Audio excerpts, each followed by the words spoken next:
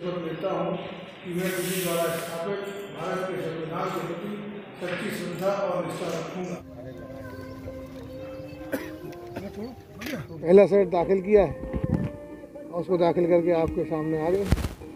ये मुहूर्त मुहूर्त नामांकन था कि फाइनल नामांकन? पहले सेट में किया है और एक आध सेट पार्टी के हिसाब से भी करेंगे।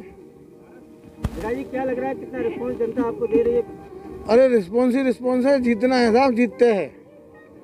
भारतीय जनता पार्टी सरकार बनाने जा रही है, झांसी ज़िले की चारों बबीना को ऐतिहासिक मतों से जीतने जा रहे हैं।